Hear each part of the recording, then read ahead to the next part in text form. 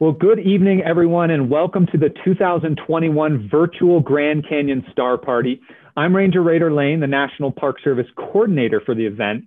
And for 31 years running, Grand Canyon has been celebrating our pristine night skies through this annual event we call the Grand Canyon Star Party. Now, ordinarily, we invite hundreds of astronomers and thousands upon thousands of visitors to the park to enjoy eight nights of some of the darkest night skies in the United States. Each evening is kicked off with a special guest speaker in our theater, followed by telescope viewing, constellation tours, night sky photography workshops, and much, much more. Now, this year we are celebrating uh, Grand Canyon Star Party in the virtual realm, and we're really excited. We have a whole host of incredible speakers for you this year.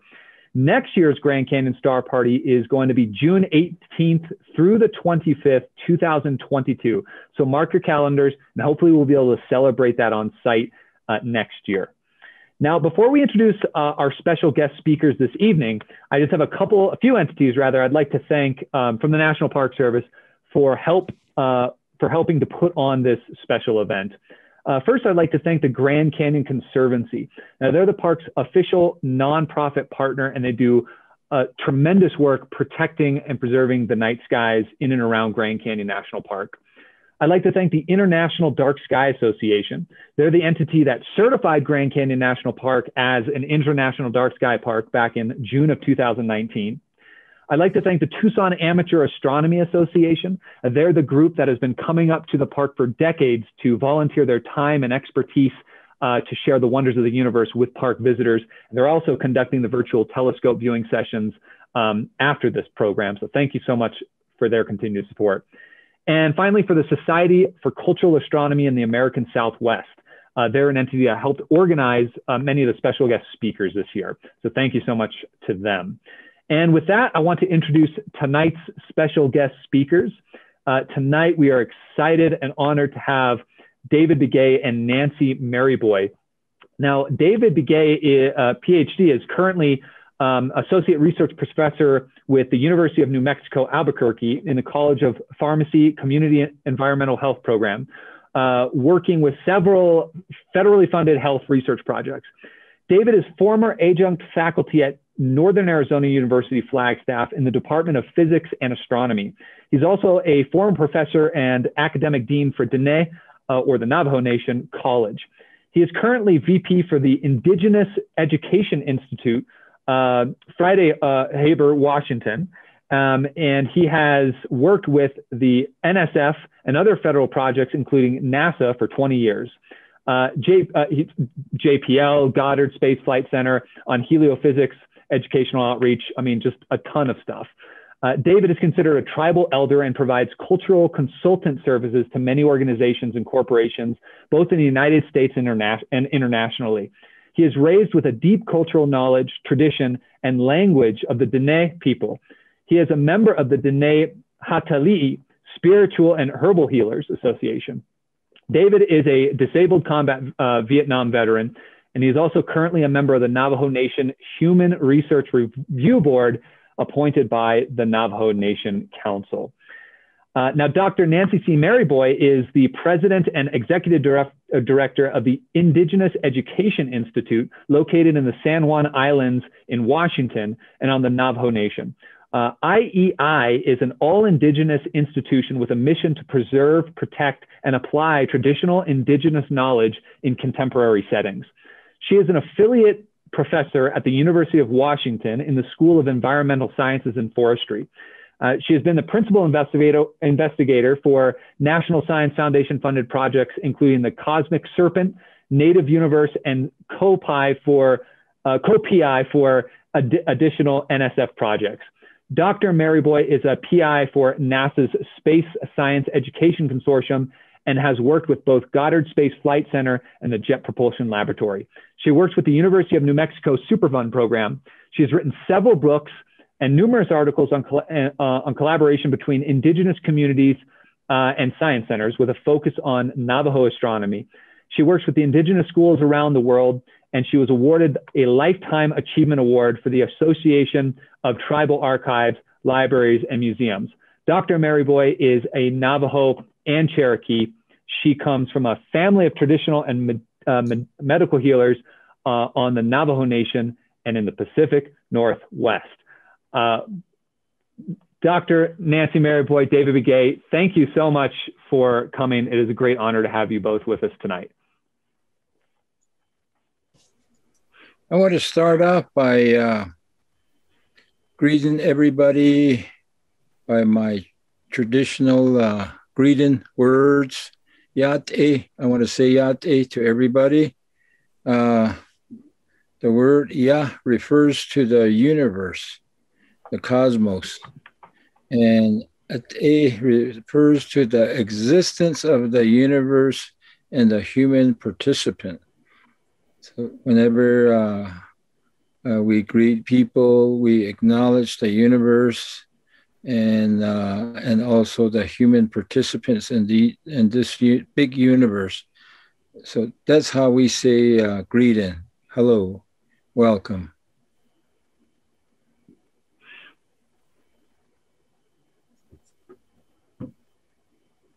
Thank you, David. Um, thank you, Rader, for your nice introduction. And thank you for the opportunity of being here, um, albeit virtual, but we're pretending we're at um, the Grand Canyon right now. And so, in the background of where I'm sitting, um, you'll see Monument Valley. That's the um, that's the backyard of my family's um, where my family lives in um, southern Utah um, on the Navajo Nation. So um, it's a it's it's a great privilege to be here tonight and to be sharing with all of you. Um, and I'm I'm sorry we're not all there in person. Maybe next year, but at least we can do something virtually right now. And so what we want to do tonight is talk to you a little bit about. Navajo astronomy and how to see the skies through Navajo eyes. Um, this is something that's not in very many books. It's not in, um, you can't go to the library and learn all you want to know. Um, this is work that we did research on for 20, 25 years. Uh, we did our research, much of it together. David learning from the men's side of a family, and I learned from the female side of my family. And so when we put them together, we have more of a whole picture of what's going on in the skies. Um, so um, we'll go to the next slide here. So now you can see David and see me. Um, the the Diné Navajo word for star, Sitsuyo, refers to my ancient relation from where I come. When we look at the Milky Way galaxy at night, we are actually looking at ourselves. David? I think this goes back to um, how Navajos uh, relate to the universe. In the Navajo worldview, um, uh, we are made out of uh, stars. And very similar to what the astrophysicists and astrobiology say about human uh, being made out of stardust. So I think uh, we have something in common here. In Navajo, when they say Sitsuyo, they're referring to their ancient past and that they are a part of a much bigger universe. And, and in this world, we are experiencing our existence as a human, but we're also related to the to our ancient past, the star, the energy, um, that preceded our life. Uh, what we have here is a Navajo hogan. It's a traditional home. Um, uh, whenever uh, you see a hogan on the Navajo uh, reservation, you will see uh, the hogan facing east. And the hogan is made in accordance with the natural cosmic cycle, the summer solstice, the winter solstice, and the equinoxes.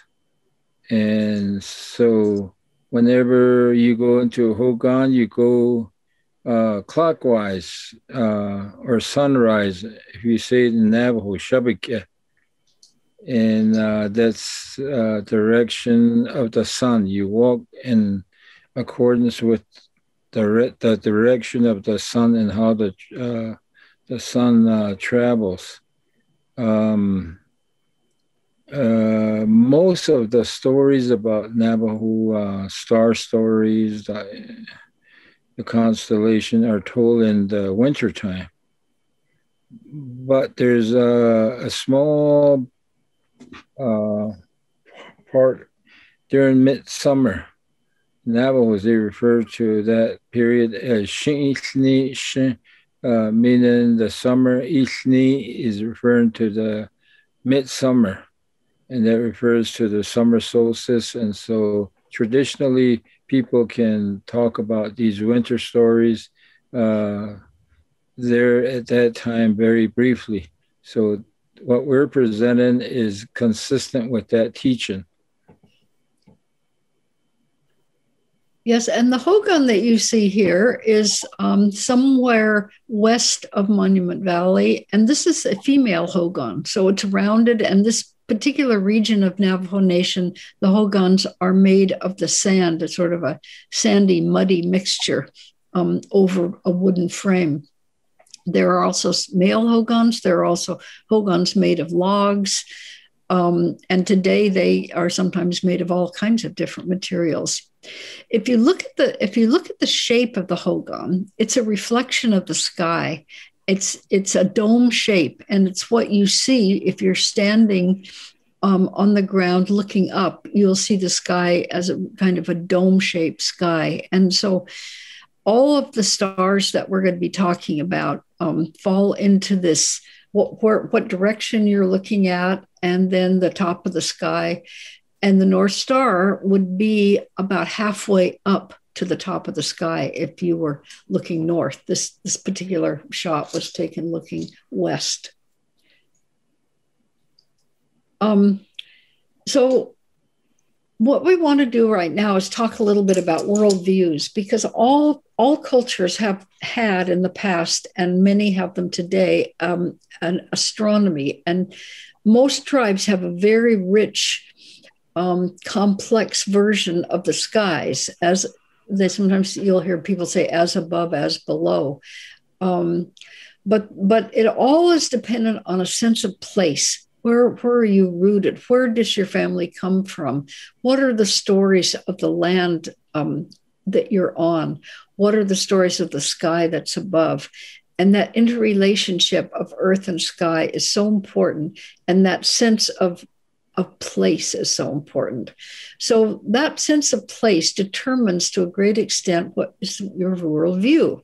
Now, on this slide, we're showing you two different worldviews, just, just to make this point.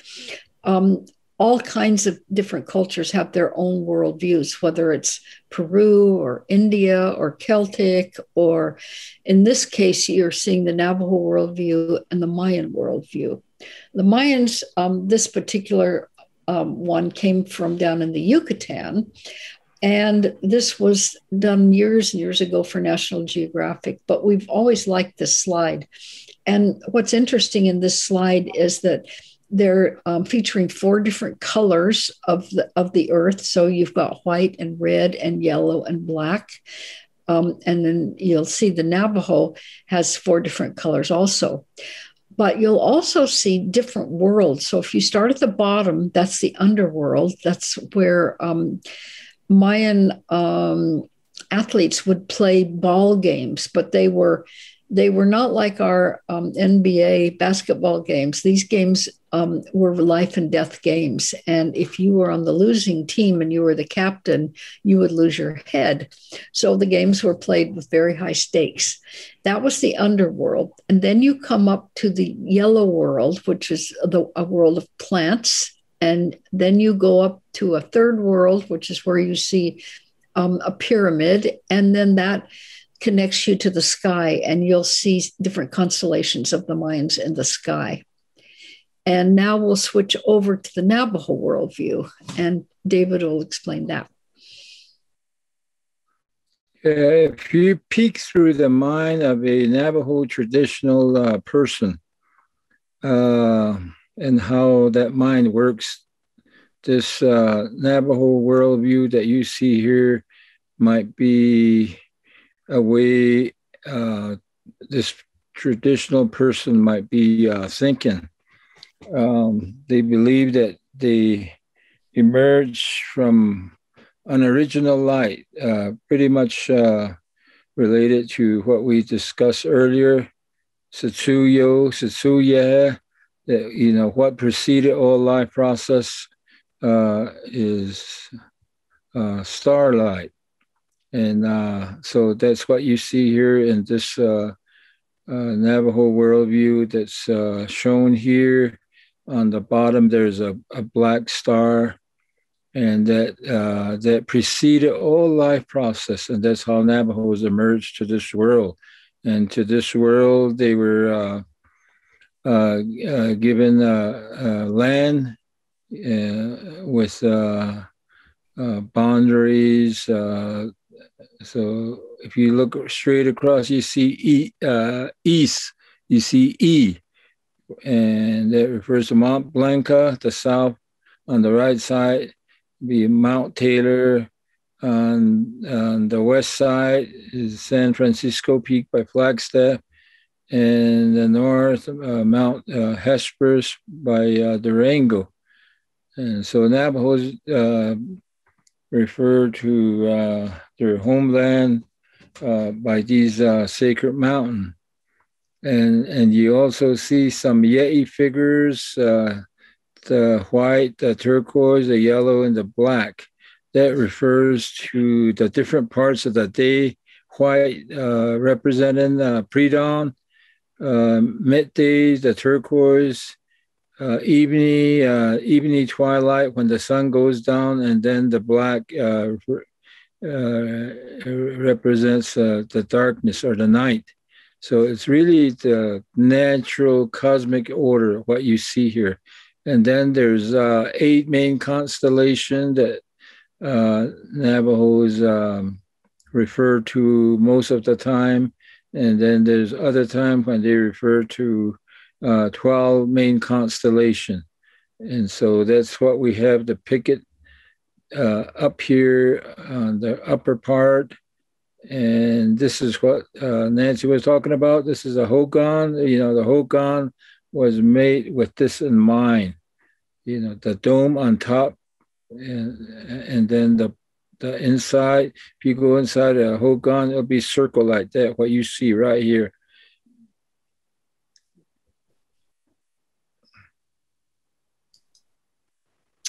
Okay, um, you might be wondering how ancient star knowledge is acquired. As I already said, you can't go to a library and look it up.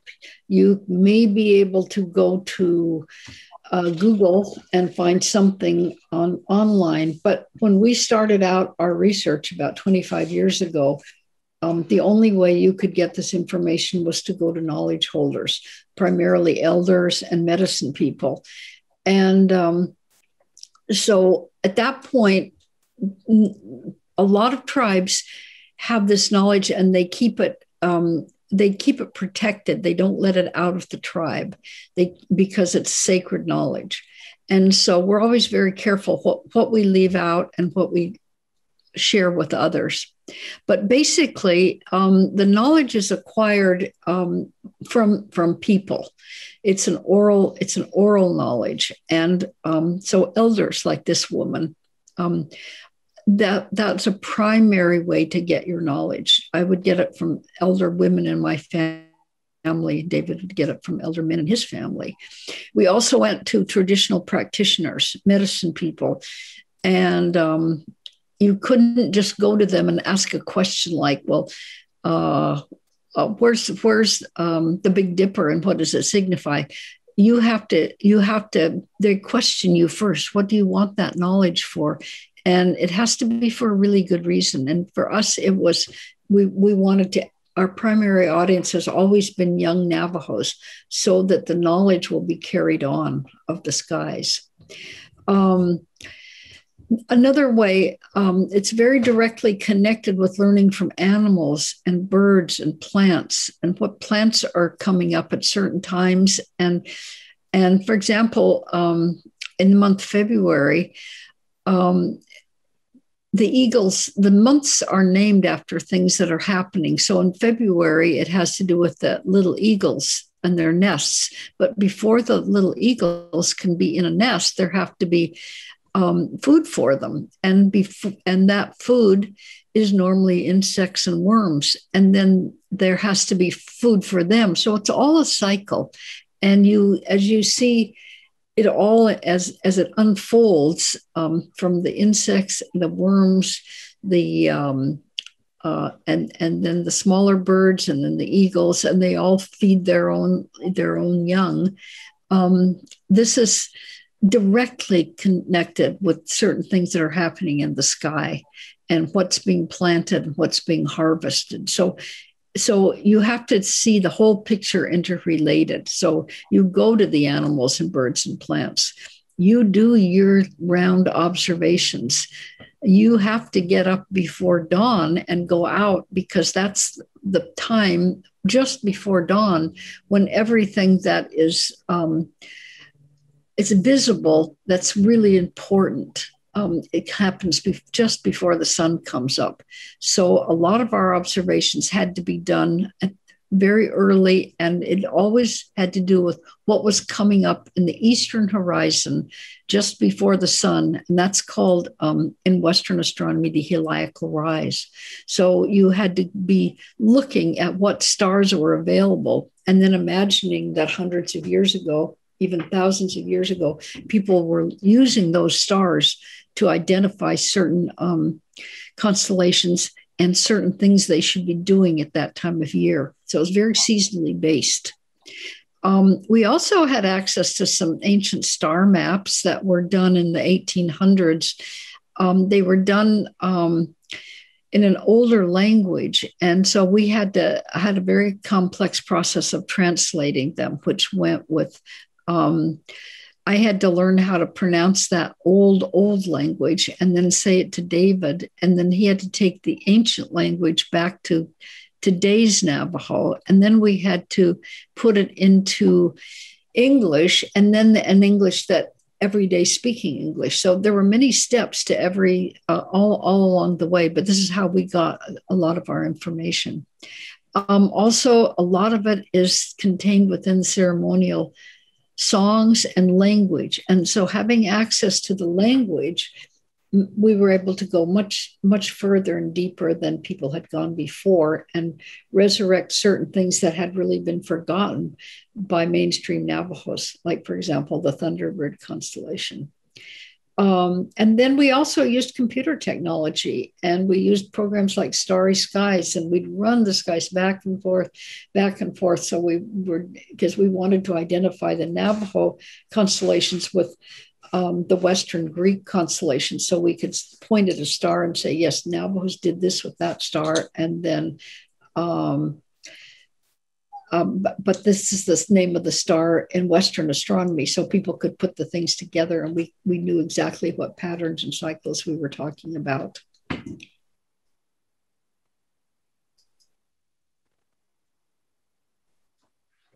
Yeah, um, one of our mission of uh, IEI Indigenous Education Institute is to uh, do outreach, educational outreach to um, to students, uh, K through 12.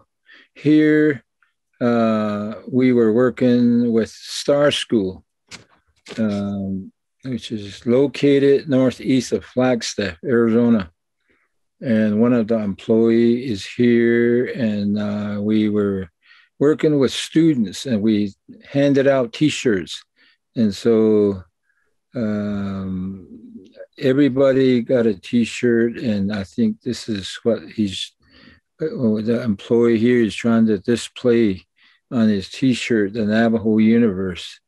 And so what we did is uh, we uh, um, developed this uh, Navajo uh, star map uh, in comparison to the Greek star map and we wanted to do a comparative uh, illustration and a comparative presentation So people will use the Greek constellation as a reference.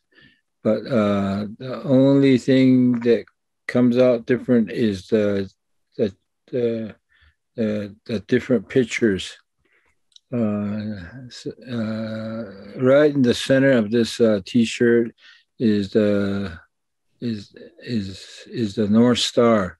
Maybe we can go on to the next uh, um, slide where it shows the the universe, the uh, uh, map of the universe, and so right at the center there's a fire, and uh, there's a man and a woman.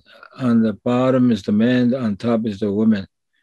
And the one on the bottom, we call it now, you know, male revolving one. The top one is uh, female revolving one, is, and it's uh, Cassiopeia in Greek uh, constellation. And so they of go counterclockwise in, in the sky. And those three uh, are considered one group of stars, male and female, and the central fire. And so what we did is uh, we picked some of the main constellations like Pleiades, Orion, uh, Scorpius, and the, uh, people uh, uh, pretty much know these constellations. We wanted to work with them and mainly to educate the young uh, students so people will know um, the cultural stories behind these constellations and make comparison to not only the Greek constellation but other constellations like the Babylon, Babylonian and uh, and and other you know uh, nationality like the Chinese, and so uh, mainly it's a uh, this work it was done to uh, to reach out to young students. So this this um, this is a poster we developed, and they all all the numbers are compared to their names in Navajo and their names in English and their location. So some other ones you can see up here. There's a down at the bottom. There's a coyote waving a um, waving a blanket full of crystals. Um, that's a that's a story about how the coyote brought chaos to the universe. There's a white horse um, with a rider who's carrying the moon. There's a bear. I'm I'm going um, clockwise here. There's there's a bear which has to do with the Thunderbird constellation. There's um, and keep going on around the sun is the uh, turquoise horse um, with a, um, a, a being carry, carrying the sun.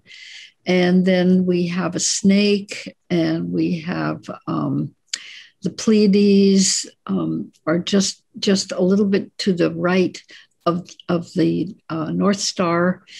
Um, so basically, this is a way. What was fun when was when all the students in in the school put on their T-shirts and we went outside, and it was like a wearable curriculum because they all could point out different stars on each other on the, because they had they were wearing the t-shirt that had all the locations. Um, so let's talk about a little bit about some of a little bit more about some of the Navajo constellations. This is the one we said um, that was the Nahokos constellations, and in um, Western astronomy, these are normally considered three different constellations, but in Navajo, they're all considered one. And so in the middle, you see Nahokos Bekon, the central fire. So this is like the central fire of the sky. This is also, you may know it as Polaris or the North Star. This is the star that doesn't move, and this is a star you can use for navigation. Um, it's pretty much what it's painted here is pretty much what you'll see if you go outside tonight um, toward the end of May and look up. You'll see uh, maybe like about 10, 11 at night, you'll see the Big Dipper with its um, with the um, handle of the dipper pointing more up to the middle of the sky. And right across, you're going to see Cassiopeia. Uh, and then, of course, the central fire, if you remember back to the Hogan slide, even today in the Hogans and even today in Navajo homes, the fire, the central fire, is where you you would do your cooking. It's how you'd stay warm. It's um, like what makes your house comfortable is usually if you have a fireplace or something that relates to a central fire. And then on the left here, you will see um, the male revolving one, um, That is the uh, Big Dipper, as you can see by the stars on his um, clothes. And he's a warrior and um, he's connected here with the crescent moon, the first crescent moon. And he's got eagle plume on his head. He's got bows and arrows because he's a warrior. He's got turquoise for protection. He's wearing a bow guard and holding an arrowhead. And then he has a medicine bag. So he's he's all about being the father of the family and taking care of the family. Um, on the other side is Nahunkos Ba'ad, and she's the female.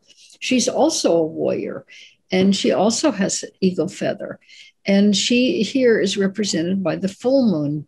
And if you look down to where her hands are, she's also wearing a turquoise bracelet, and that's for protection. And she's got two weapons. Her weapons are the grinding stone and the stirring sticks. And with those, she can feed her family and keep them healthy. So she too never leaves the Hogan. She's always there, and they're like the ideal uh, mother and father. And these stories were put up in the sky so that um, because landforms can change. You can have floods, you can have a mountain uh, slip down, but the stars stay the same. And so um, the they put stories up in the sky and connected with them. So those lessons, those virtues, those ways of living would always be there to remind the people. Another um, one that's very important in Navajo is the Pleiades. And this one, if you go outside, you're not going to see because this is the the time of year when the Pleiades become um, invisible from Earth um, it's really interesting. A lot of different tribes use the Pleiades to tell when to plant, and they also use them to tell what the harvest is going to be like. Um, but um, the um, Incas, for example, they they use the Pleiades. Um, they use them to know when to plant, and so does Navajo. And so here you have the Pleiades, and you have one shot on the right hand side that's a, a beautiful NASA a photograph from the Hubble um, telescope. And on the left hand side, you have one of our paintings. Um, we had this excellent painter named Melvin Bainbridge who did about 26 constellation pa- paintings for us. Anyway, this one is of um, um, boys going out and they're learning um, how to be little warriors, and they're followed by a woman with a buckskin slung over her shoulder and the boys get excited and they run run on ahead and they go over a hill and they're not seen anymore. Okay so um, that's an indication to navajos that it's time to plant your corn and that is connected with other things like certain waterfalls will start running down from the mountains and certain plants start growing. But this is with all these indicators you plant your corn and there's a little saying that says, Don't let Dilyehe see you plant your seeds.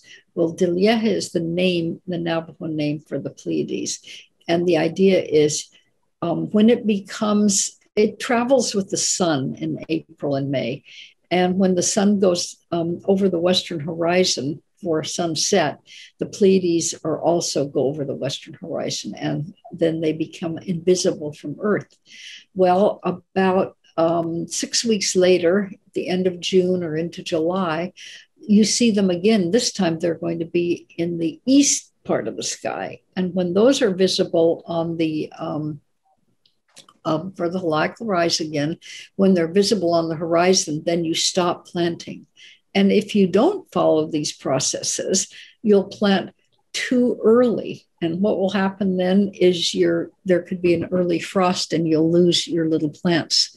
And if you plant too late, um, it's you can also um, have a have um, an early fall frost and you lose your crop. So it's it was very important. Um, you know, today we have calendars and we have computers and all this. We always know what time it is, what season it is. But a long, long time ago, people had to depend on the stars for these kind of indicators. So um, the Pleiades are very, very important in a lot of cultures. And an interesting thing, if any of you drive Subarus, Subaru is the Japanese name for the Pleiades. So um, uh, that's um, you know that's lots of lots of different cultures acknowledge the Pleiades.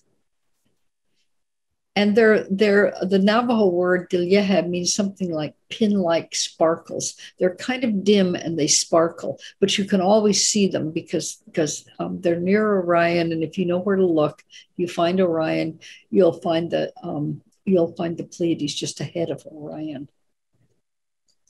And so here's Orion. Orion is called Atse in Navajo.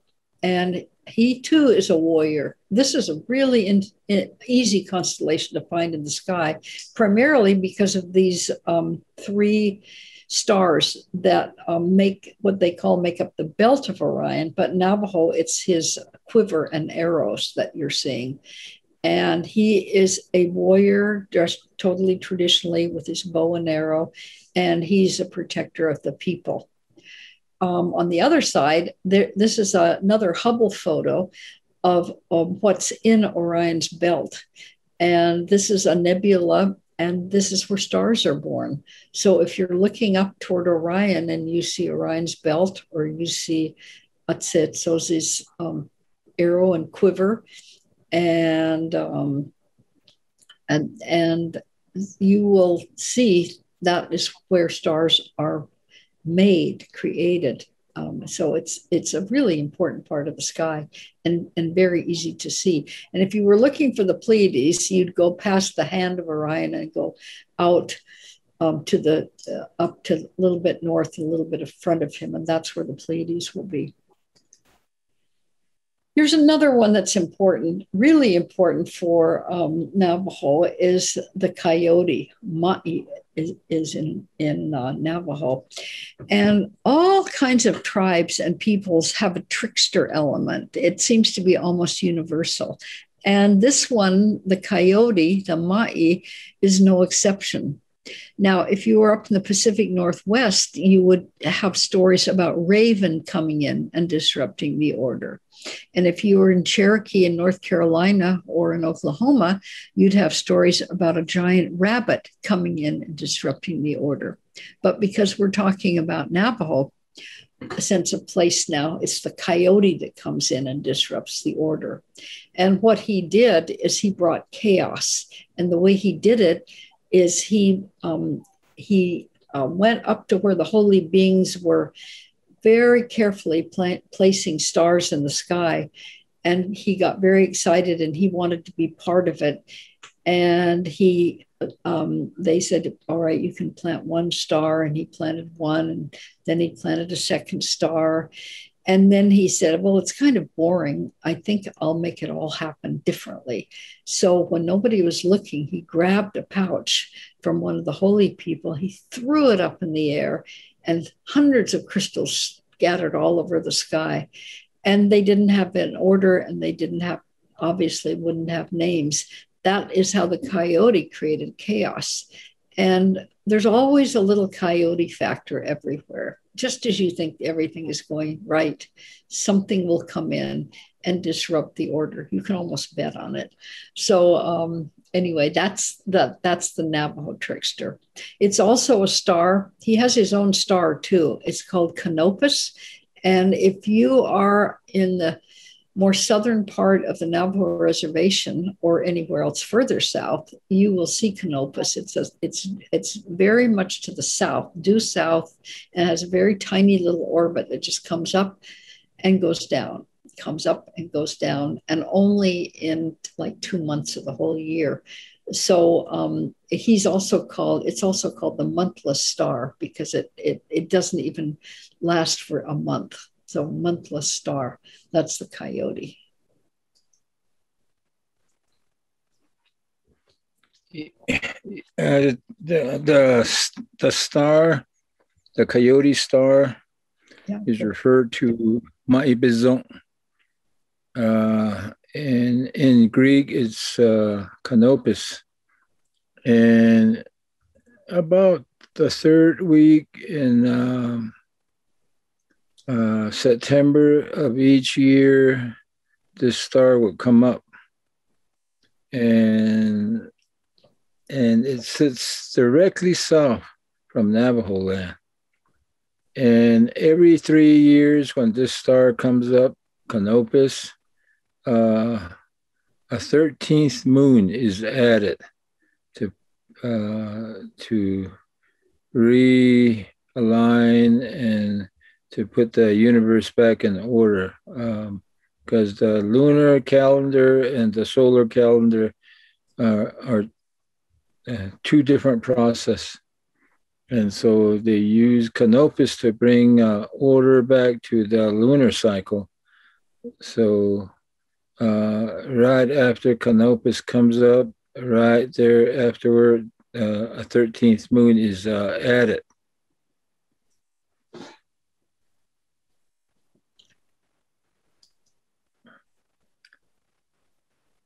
And what we have here is an, uh, a Navajo rug depicting uh, Father Sky, Mother Earth. Um, on the left side is the Father uh, Sky um, depictions as all the um, main constellations, some of the constellations that we covered they're all in here in this uh, figure, and uh, including the moon and the sun, and also the Milky Way.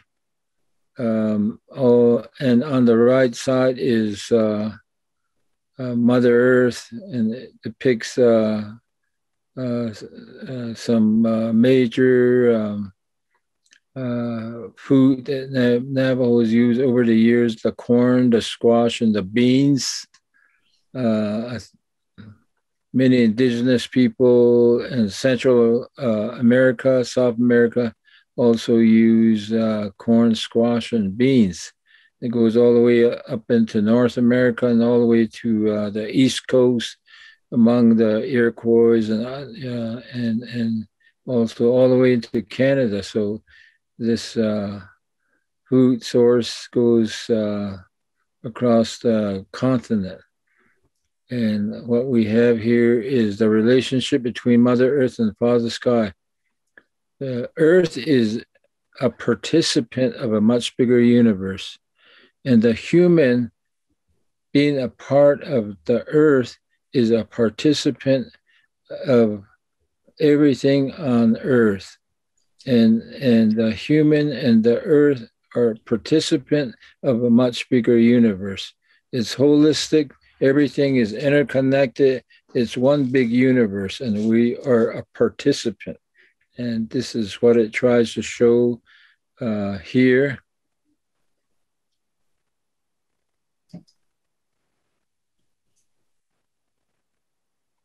Here we have uh, the sun the sun is everything in Navajo. It makes everything happen.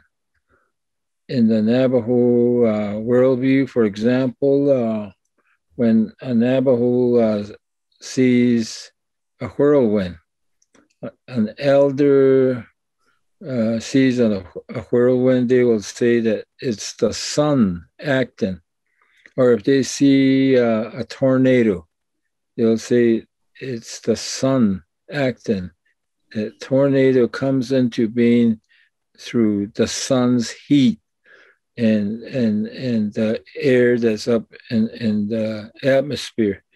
And so when when thunder when thunder emerges from the tornado, it's the sun acting. Whenever uh, there's something that falls, you know, to the ground uh, you know, it's the sun acting. You know, it's it's interrelated. The gravity is interrelated with the sun. Um, whenever uh, uh, people talk about electromagnetism and uh, Western Navajos talk about those things, and they refer to it as uh, um, uh, through the, the elect, elect, electrical current exists uh, uh, in the sun. it makes its own nuclear fissions, and you know that's how physics would talk about it. Navajos talk about that too. And so uh, uh, these things uh, can be talked about, but uh, they take much longer uh, presentation.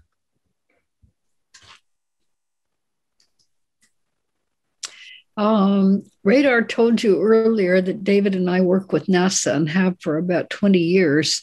And right now we're working with Goddard Space Flight Center in a um, in a heat. It's called the HEAT Consortium, um, which has to do with heliophysics.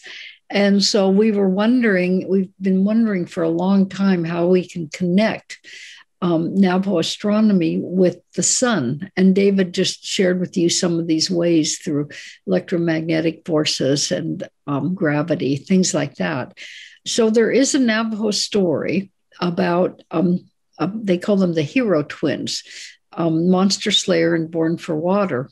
And they, they um, were born when the sun impregnated two twin girls, and one of the twin girls had these um, the monster slayer and born for water, and the other one had a monster.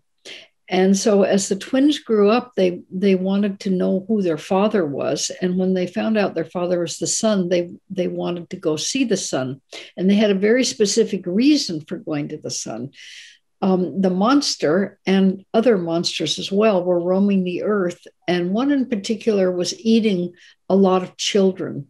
And this was a terrible thing, as you can imagine. And so they wanted to go to the sun and get some weapons they could bring back to help slay the monsters. And so they they uh, began a long intricate journey and, and there's not time to tell you the whole thing but basically they visited spider woman they got weapons like a bow and an arrow and a, I mean not a bow and an arrow i'm sorry an eagle plume and they used that to protect themselves as they journeyed on a rainbow to the sun and when these twins got to the sun they went inside the sun where the house of the sun was and at first the sun didn't recognize them and said you can't you're not my children. But he gave them all these tests and they passed every one. And finally, the sun had to admit that was that they were his boys. So he ended up giving them weapons and they got a bow and an arrow and they came back to Earth um, and they were able to slay the monster. And this also could you could look at as a as a story for our times because you can think of the COVID virus as a monster being um, in our time. And you can think of using the sun's rays to um, combat the COVID virus um, because we know that sun and radiation can have an impact. So um, we were trying to figure out how we would relate this. And when we, we, we started remembering, yes, there were two sons and uh, two boys, and they went to the sun. And then we started thinking about some of NASA's missions. And there's um, two right now which are, are, are doing some amazing things. One is the Parker probe, which is going into the sun itself, and it has um, it, it, has all its heat shields at the, at the forefront of the of, of the, um, the, the machine and it goes into the sun but it but it keeps the, the part that's recording things stays cool enough to send back to earth the information the other one is the solar orbiter which goes has the wings sticking out and it goes around the sun collecting all kinds of information about solar flares so it's kind of like Navajo has had two twins that went to the sun, and now NASA has two missions that are going to the sun. And surprisingly enough, the um, scientists that are in charge of these missions are very interested in the Navajo story and what it stands for. So we're we're working with them, and I think we'll have a probably in a year or so we'll have a PowerPoint or a video or something to explain um, the whole relationship. anyway, that is the end of our presentation today. So we say thank you. Uh, we say ah yeah. Uh, we hope you've learned something you can use when you look at the skies wherever you are, and hope to see you someday in the Grand Canyon. Goodbye. Well, thank you both so much. That was such a fascinating uh, talk. Uh, so many questions, but I'll just keep it down to maybe uh, one or two here. Uh, uh, it seems like from a lot of the talks we've heard this week, um, particularly from some of the uh, Puebloan peoples of the uh, uh, Grand Canyon region, that uh, that sun watching is a very important part of some of those particular cultures. It seems like the Diné culture has um, a much more robust uh, constellation canon and maybe more of an attention towards the stars themselves. Um, is there some reason that you, that you can, or uh, do you want to comment on how that might be accounted for, or um, uh, is it is it just maybe in virtue of the very influential book you've both published, Sharing the Skies, that maybe has revealed much more um, star knowledge and things like that from the Diné culture, or or do you feel like the Diné um, culture actually does pay a little bit more attention to the stars for some particular reason? Let me take a crack at that, and then then I'll hand it over to David. Um, good question, Rader. Really good question. Um, we've always thought. I mean, it, it's up to each tribe to let out which what they think is um, appropriate, and and we know that the pueblos. I'm I'm not talking about the the Hopi or the ones in Arizona, but the pueblos per se don't you'll find they don't talk much about their own astronomy. They're they're not supposed to, and they they really keep it to themselves. But um, it makes sense to think that when you look at the these um, ancestral Puebloan places like um, Mesa Verde or Chaco Canyon that are so based on um, watching the sun and the the solstices and the um, equinoxes when the sun's rays hit certain places on certain buildings they were a more sedentary people and they were growing corn and they had to stay home and take care of their um, they, they were planting corn way before navajos were and the navajos we know because we traced Navajo language similarities all the way up to Alaska. In the early 1990s, we'd go up and work with different Alaska knowledge holders. And um, we found that everything we told you about the Nahokos names, they have that name up there, Nahokos for the North Star. And so um, we we followed the trail all the way down to um, I think it was Sarcee in British Columbia, and then um, they have Plains Indian influence. And so that's when some of the other stars got their names. Um, and, and so it was like Navajos had a journey down from Alaska. I mean, they had to have because the language similarities show it all the way down. And since we had the language, we could talk to people and ask for their star knowledge and names. And so um, it was, it was really fascinating. But um, so Navajos were a nomadic people for a long, long time. And so where the sun was um, hitting a certain specific rock wouldn't have been as important as to follow, know where the North Star was and follow you know follow um, follow the stars and we've worked very closely with native hawaiians over the years and um, in fact i love to acknowledge one Kalepa Baybayan, who just passed away, who was a really dear friend of ours and had was one of the main um, navigators for the Hokulea Around the World voyage.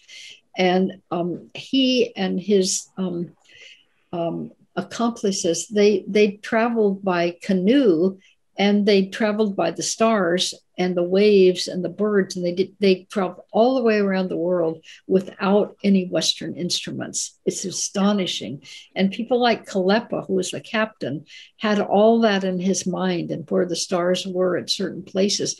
And you know, if you're going from one place to another in the Pacific, you've got to depend on the stars because there's there's nothing else. You know, there there are other aspects like certain fish would come up and see them over and over in certain places. And when the birds were doing certain things, they knew they were inside of land, but they had to be really precise on triangulating their stars and um, and their stars as they go over the equator and down into the southern skies. Everything changed, and so they had to have another stars to look look for, and you had to because if you were off, like you know. Um, 20 miles, you'd miss the island you were going to. So uh, there's, there's, there's life and death. So there were, so different people had different, whether they depended on the sun rays or the, you know, or the stars or the waves or whatever. It depended on their sense of place. So that's that's how I would answer your question. And David, if you oh. want to add something else, please do.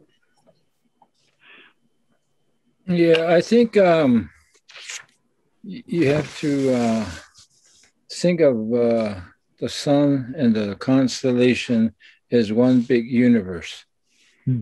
That seems to be real clear uh, when you talk to traditional people.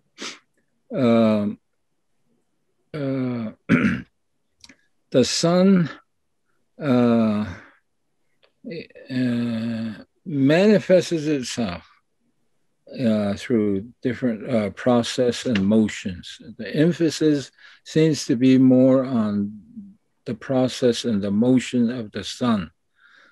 And so, for example, uh, um, for east and west, uh, we say for east, ha, where the sun comes up.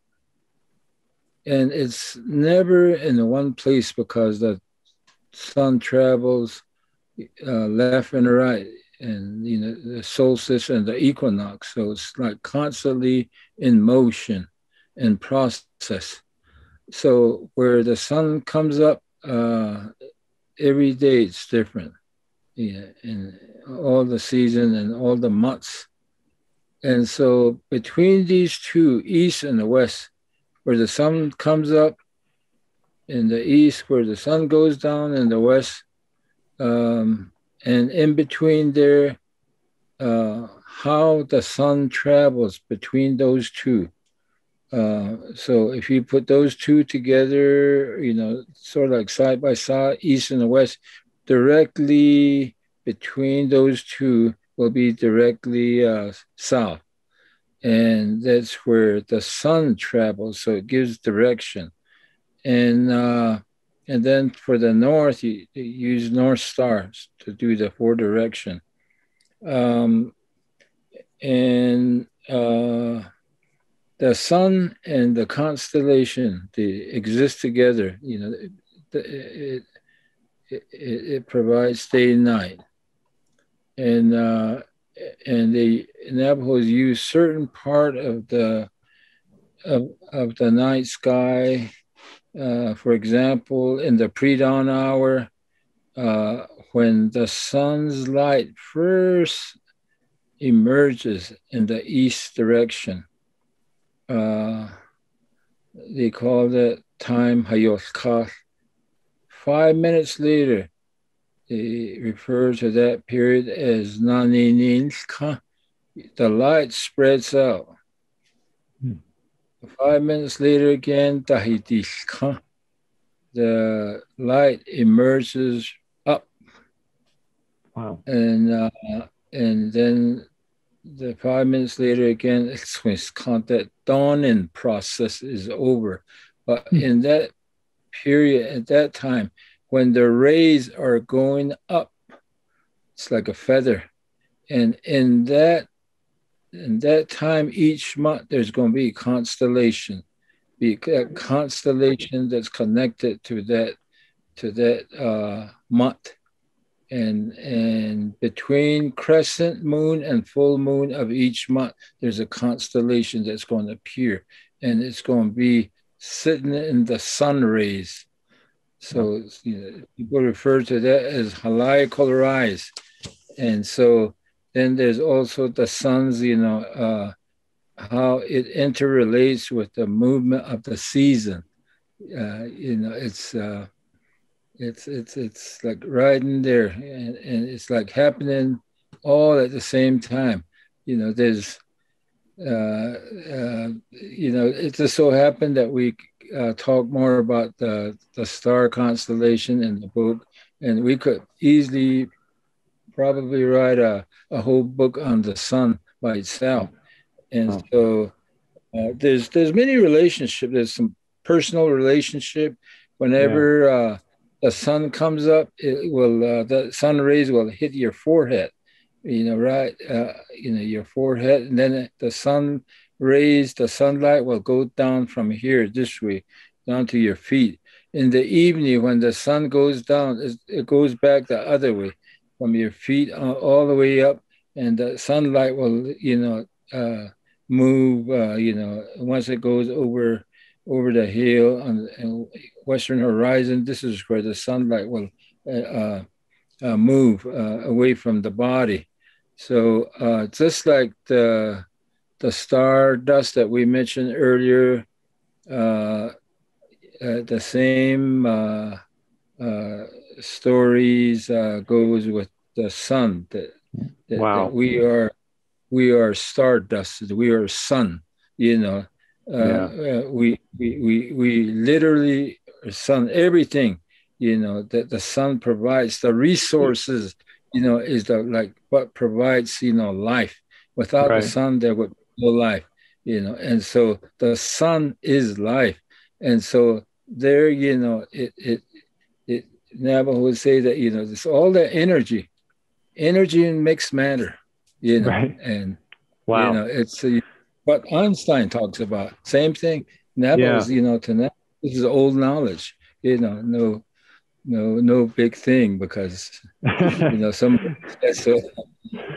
That's incredible. Well, that's I mean, so from what I'm hearing from both of you, it's it's just the maybe the semi-recent history of nomadicism in the Diné culture um, means that the stars are maybe a little bit more important in the culture because independent of your latitude, you can be traveling over vast distances and still tell time based on the heliacal rising of stars, which is what you were, David was explaining there. And the fact that, um, David, you just mentioned that there's various names for the, the time periods just before the sun rises and as the sun rises is a testament to the fact that the Diné people have been watching the heliacal rising of stars for so long. Uh, just just to have those names is is incredible for, for that. So that's what a what a beautiful and wonderful, unique cultural trait um, that you were just able to share with us. And uh, thank you so much for